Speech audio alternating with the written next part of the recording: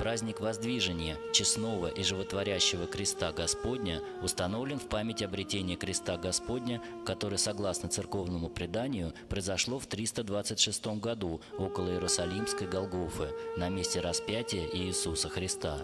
Крест был найден, приехавшей в Палестину великой царицей Еленой, матерью императора Константина, и иерусалимским епископом Макарием.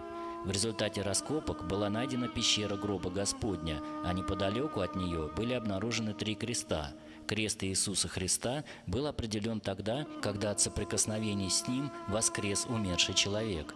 Часть животворящего древа святая Елена отвезла в Константинополь, и ее сын, император Константин, повелел воздвигнуть в Иерусалиме величественный храм в честь воскресения Христова, включавший в себя и гроб Господень, и Голгофу.